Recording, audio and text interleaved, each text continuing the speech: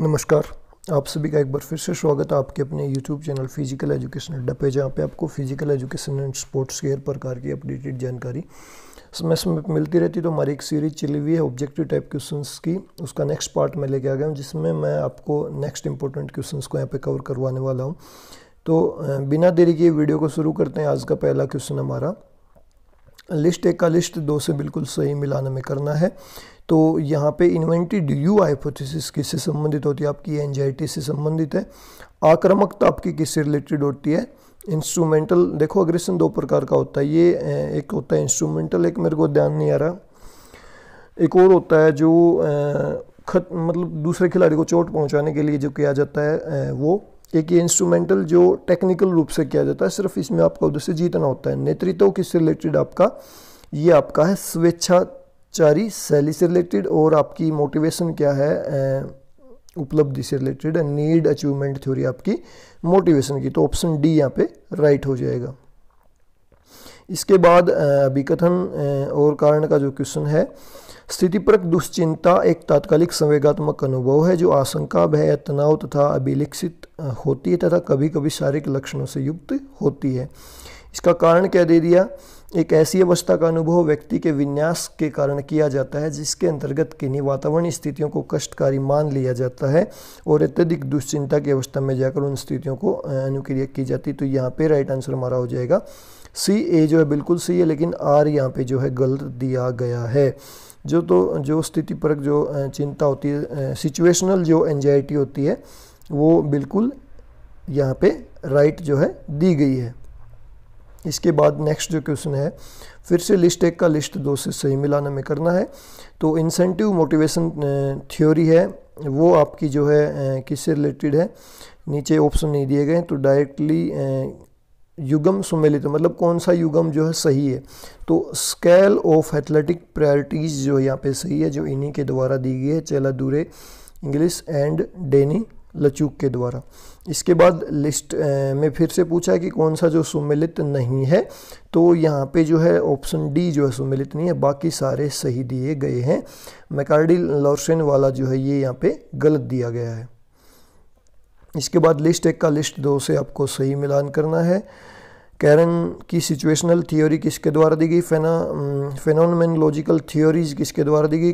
Catastrophe theories किसके द्वारा दी गई? सोशल लर्निंग थ्योरी किससे रिलेटेड है? तो आपको ये बताना है कि यहाँ पे कौन सी थ्योरी किससे रिलेटेड है? तो यहाँ पे देख लेते हैं राइट ऑप्शन नीचे। कैरन की सिचुएशनल थ्योरी नेतृत्व लीडरशिप से रिलेटेड है।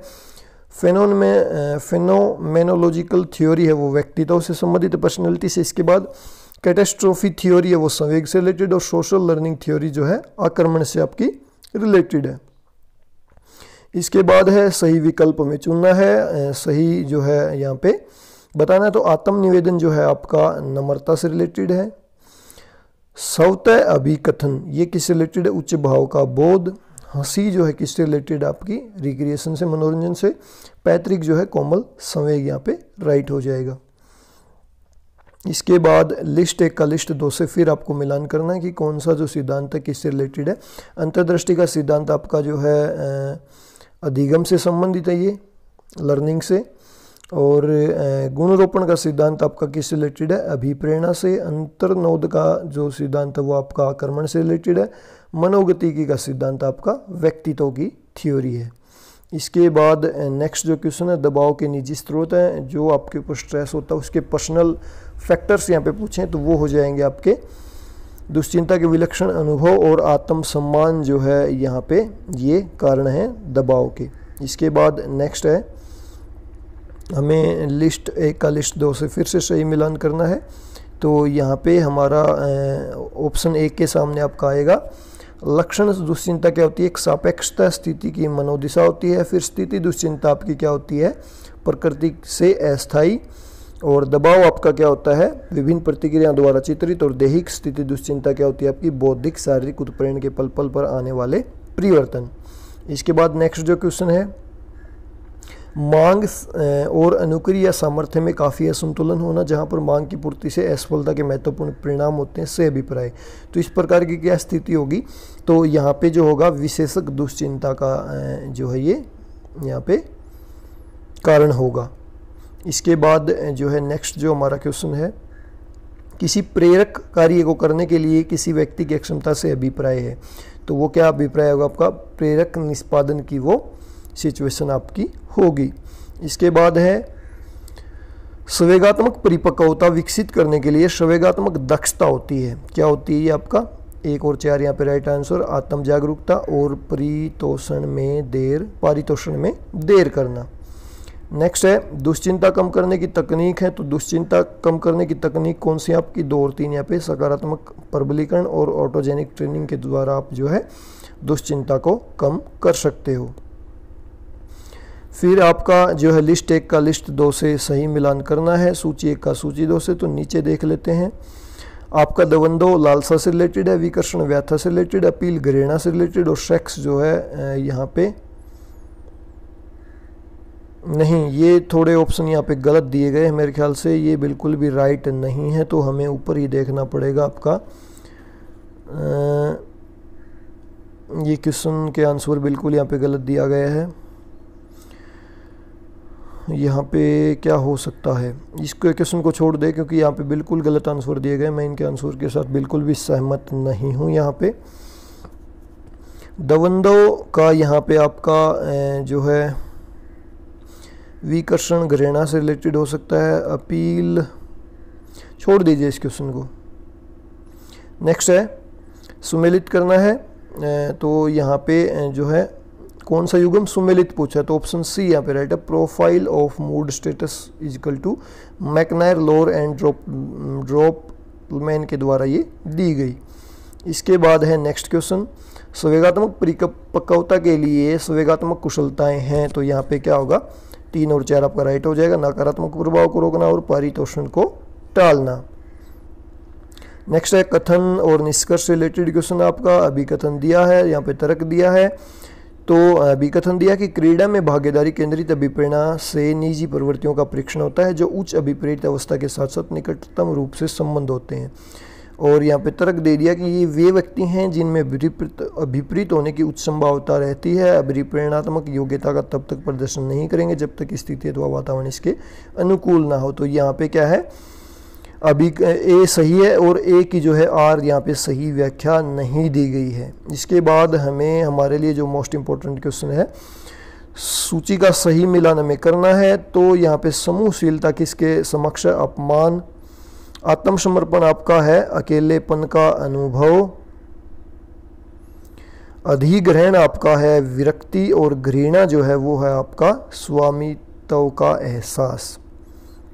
तो सी ऑप्शन यहाँ पे राइट आंसर जो है, हो जाएगा। लेकिन मैं यहाँ पे, इस इस आंसर के साथ भी सहमत नहीं हूँ, बिल्कुल भी। अधिग्रहण का यहाँ पे राइट आंसर बिल्कुल होगा, स्वामी तत्व का एहसास, इसके आंसर आप बदल लीजिए।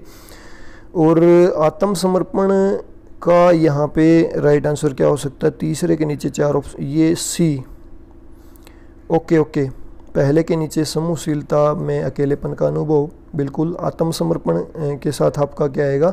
अपमान, अधिग्रहण का आपका आएगा और घृणा जो है आपकी आएगी।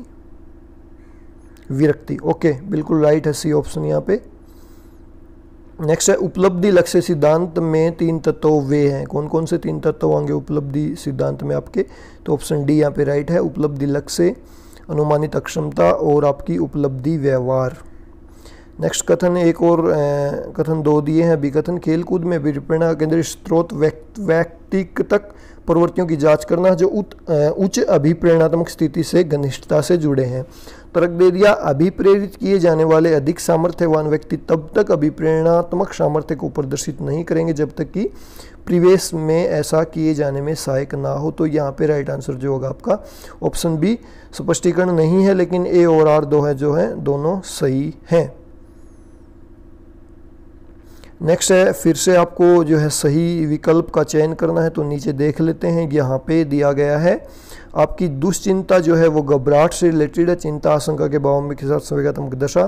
क्रोध जो है आपका किसी व्यक्ति के के प्रति नीचा दिखाने की अपमानिक अनुक्रिया से घटित होना, बालाघात आपका है, शारीरिक तथा मनोवैज्ञानिक अभियाचना और अनुक्रिया क्षमता के बीच बड़ा असंतुलन और भाव प्रबोधन है, जीव का सामान्य शरीर क्रियात्मक मनोवैज्ञानिक उत्प्रेरण। तो ये थे आज के ट्वेंटी इंपॉर्टेंट क्वेश्चंस जो आपको हमने करवाए।